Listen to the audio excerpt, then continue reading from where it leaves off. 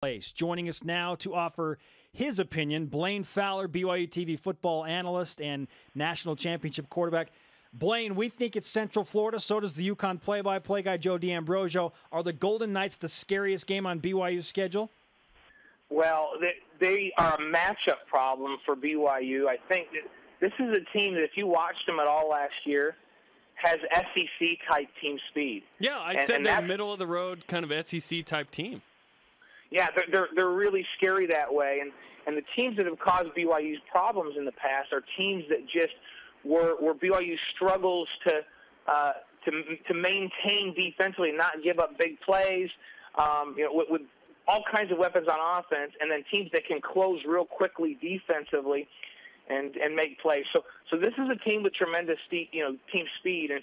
You know, I know that they lose Bortles, their great quarterback. If he was back, I think that they would be a preseason top 15 team. Yeah. And so, so the only reason they're not is because he's gone and he went out and went to the NFL. Well, you guys have been talking about it. they got enough coming back from a team that was a legit top 15 team last year, no question about it. In terms of talent, I'm talking top 15 talent, and, it's, and I think they top 10 speed, and there's a lot of those guys coming back, and so it presents a great challenge. And it's a great football environment down there. It's one of the newest stadiums in the country. It's beautiful. It's like an NFL type environment. BYU's got to travel all the way across the country. So when I look at that schedule, that's the game that jumps out at me that I go, okay, this is a game that everybody thinks, and when I say everybody, all of the BYU fans just think, well, that's a win. They're going to go back. UCF. They can beat UCF. That's a scary one. That's a really scary one back there. It's one thing to match up straight up with a team on a neutral field. It's another to play a road game on a Thursday on the East Coast. What factor will that play in the game, Blaine? It, it plays a big factor. And when when you're you're playing a team that really tests you from all angles offensively, um, you know they'll go attack the edges in the run game. They've got a lot, a good screen game where they get the ball out, and they get it to speedy wide receivers. They do a lot offensively, and so a team that does multiple things offensively and tests you, you'd like to have a full week to prepare. And not only do they not have a full week to prepare, a, a travel week makes it an even shorter week. And then BYU, who won't practice on Sundays, which is good. We, you know, we don't want them to practice on Sundays, um, but that's their policy. It, it makes for a short preparation week when you combine a, a cross-country travel with a short week, and that that adds to the challenge of playing against a team that also not only do they come with a lot of talent, they come in with a lot of confidence. They're they're in that Boise State mode now where they Yeah. think they're good. Twenty-two They just show up and they think they're good. The last two years. Yeah, they they expect they expect to win, and teams that expect to win, they play with confidence out on the field. They don't hesitate. They close to the ball faster. They attack, and that's the mindset that they play with now. And so, yeah, that's a scary game. That's a really scary game. I, I would love to be. I know that's not one that we're planning on traveling to with BYU TV, but we'll have a great pre and post game show from the studio in Provo. But that's one that I, I wish we could travel to because I'd like to get my eyes on that team up close and personal from right down on the field because when we watched them on TV last year, it just seems like a team with just tremendous speed. BYU TV analyst Blaine Fowler with us on BYU Sports Nation. Is Spencer, it? you'll be there. I will be in Orlando. So Bla- yeah, Blaine, you'll get yours. You'll be in us. Okay, as, as long as Spencer's there, then I feel good about Okay. it. He can, he, I can, I can say, Spencer, is that guy as fast as he looks? And he can go, yeah, he's yep. fast. Yep. He is. But he is faster in I think that's how the conversation will go. I, I don't even really see the need to go anymore. Yeah, exactly. No. You know, here, Oh. there, there's another team. I mean, I think UCF, Texas. We're not calling them a scary team because we just know Texas. That's is the good. thing. We You know what to by expect. We know what to expect from Texas, so I don't think they're scary. Yeah, and, and here's the thing about Texas. This is, I mean, remember we rushed for over 500 yards on them last year. They are not going to be happy. Five They're not going to be happy. And they fired the D coordinator. They got they got a new staff. I believe that this staff. I, I look at Utah. So when Utah, um, back when Ron McBride was there, and, and I think Ron doesn't get enough credit for how good Utah's been because he's the one that changed them from a bad team to a competitive team, and he changed the talent level there. Mack Brown has been an unbelievable recruiter. When we were getting ready to do that Texas game last year, you know they didn't have. When I was doing my homework on their two deep, they didn't have a single player in their two deep on offense and defense that weren't in the top five in the country coming out of high school in terms amazing. of the ratings. And so, it didn't so 22 matter. players. Yes, but but BYU beat them because they played better. Well, that's what's scary now because we know that they have more talent. If you're just going to take the sum of the talent, and and now it, it reminds me of Utah when Ron McBride was there, stocked up the talent, and then Urban Meyer came in with all the discipline and good game planning and was a better game coach, and, and they were really good that next couple of years. I think that's what we're going to see happen at Texas. They're stocked with talent, and I think that this staff is going to come in, and instill more discipline, more team unity, all those things that were lacking in terms of chemistry and execution. And this Texas team, we're going to find that Texas team over the next couple of years right back in the top 10 where they belong based on their talent. So that's a scary game, but that's a given scary game.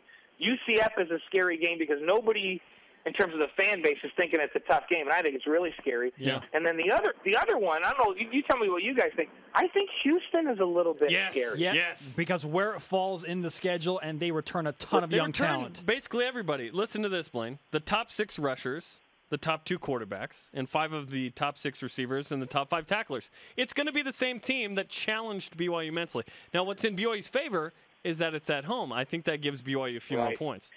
Yeah, I, I agree, and I think that BYU is going to win this game, but it is not going to be easy. I'll give you three names: John Children of O'Korn, Oh yeah, Yeah. yep. Deontay Greenberry, and Daniel Spencer. So, so he's so Children John's of got so he's got he he's got a great he's a very talented kid as a freshman he was unbelievable so now he comes back with a year under his belt and he's got great targets to throw to Deontay Greenberry and Daniel He's Spencer those are. NFL those are NFL wide receivers so so you got a, you got a very very good quarterback that came out of the state of Florida was one of the best players in Florida out of high school throwing to two really good receivers behind an offensive line that's a little you know it's pretty seasoned and so they create problems. This, this could be a high-scoring game, and and turnovers can make a big difference. Now, I think BYU with a veteran quarterback is not going to turn the ball over, and I think that they're going to you know they're going to execute at home, and so I think BYU gets this one. But but as I look down that list, you know Texas is the game that I think is the most likely loss. UCF is the game that scares me the most.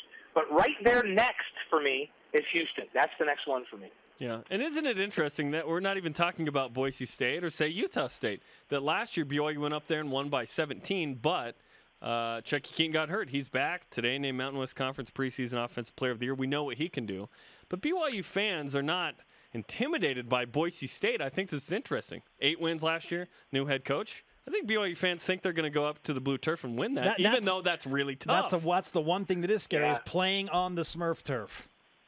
And, and you know, here's what's interesting. You know, we talked about this. I can't remember if it was last week or the time we talked before that, but um, people are underestimating how good this schedule is because we just talked about three really scary teams to us in Texas, UCF, and, and Houston, and now we're talking as afterthoughts about Utah State and Boise State, who are very good football teams and very good programs. Eight win teams last And, and and so you go back to when BYU was playing in the Mountain West.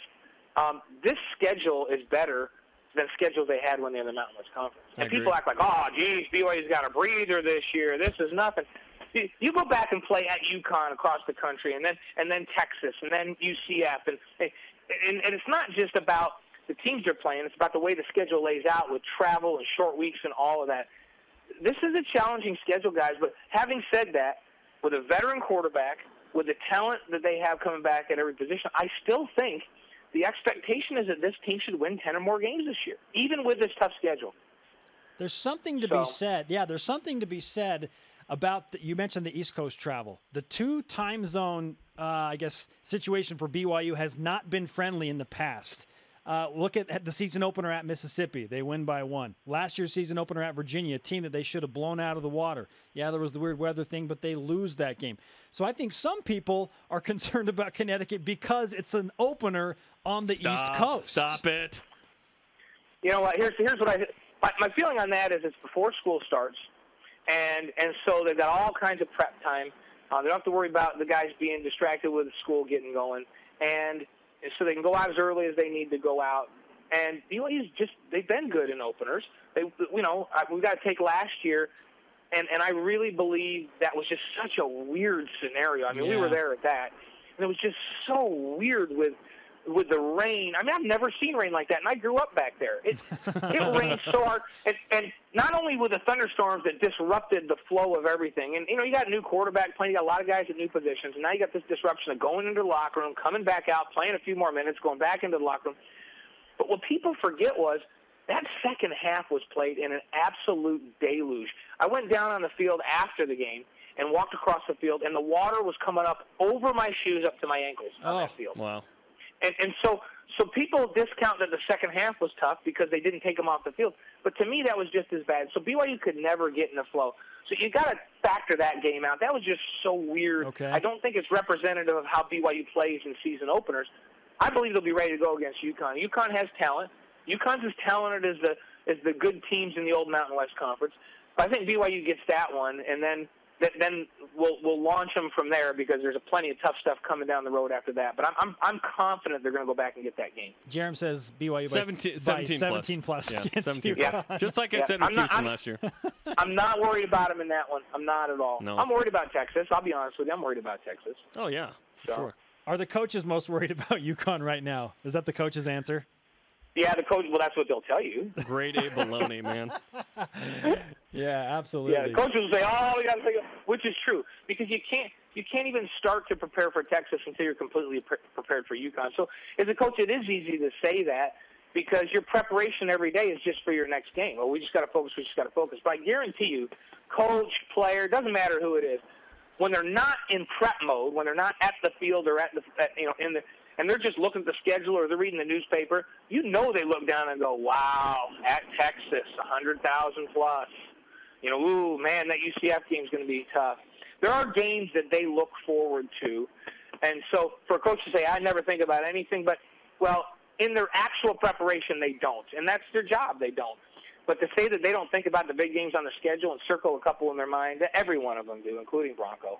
38 days away from the season opener. Blaine cannot wait.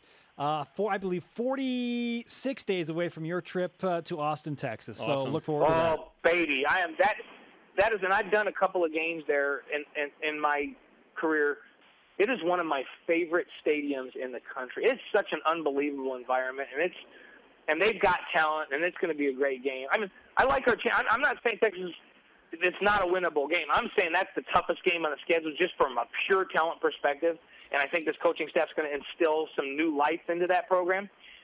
But I, I but I'm not saying BYU can't go down there and just punk them and just and just get it down there. Hey, If, get if, a Jake, win. if Jake Heaps led BYU to a one point loss there, I think Taysom can go down and win. I do. Yes. And that's the end of that. Hey, Blaine, great they're to have be, you with they're, us. they'll, they'll be better than they were that year. Texas will. but but Taysom Hill is gonna. How about how about a last drive down the field like against Houston in front of a hundred thousand plus on national TV? Um, that's going to be such a fun post game show. That's all I have to say. If he gonna can, be a fun post game show. if he's hitting golf carts in Mississippi, he can do it at Texas, right? Absolutely, no question. All right, Blaine, we'll talk to you soon, All right, man. guys. We'll see you.